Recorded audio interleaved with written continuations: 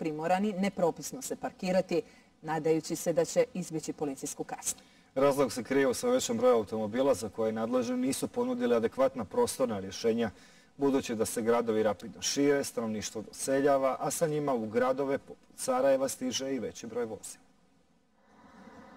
Crveno-žuta kazna za nepropisno parkiranje i bijela uplatnica u posljednje vrijeme sve su češća pojava na sve većem broju vozila, pa i na Jasminovom. Pa, relativno često, često stižu i te kazne. Neke, mislim da opet čovjek kada nema blizu neki parking koji bi mogao uredno platiti, naravno ima nešto teško nositi dosta na prisljenje da parkira na bilo kojem prvom mjestu koje nađe, tako da mislim da je to dosta, da su okolnosti dosta teške trenutno vezano za to.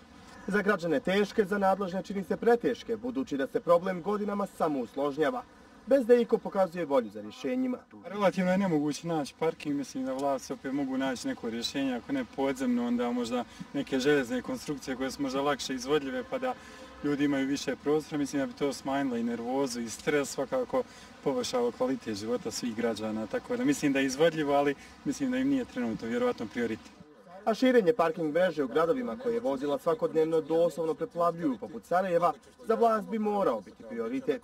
Imamo porast broja motornih vozila u cijeloj Bosni i Hercegovini, možda u zadnjem desetljeću za tri puta, od 650, od 500 hiljada, sad smo na milijon i 200 motornih vozila.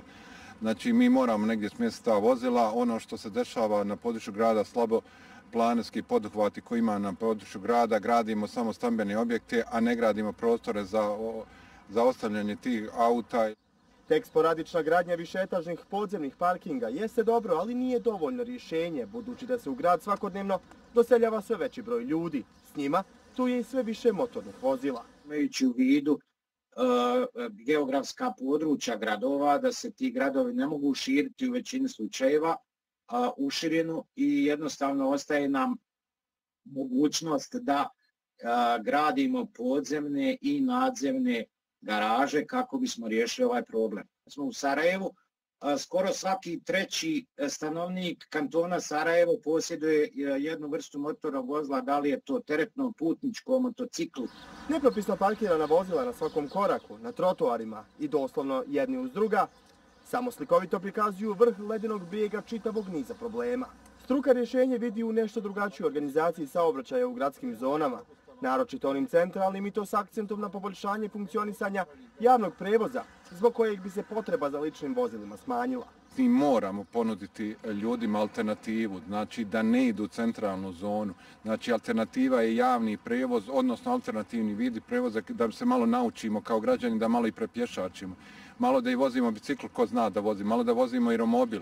Na tim da u, u, i pravimo infrastrukturu s tog segmenta.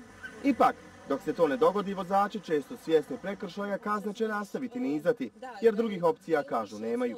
U prvom mjesecu ove godine policijski službenici uprave policije MUPA kantona Sarajevo vozačima su koji su nedozvoljeno parkirali svoja vozila na javnim površinama uručili 9679 prekršajnih naloga.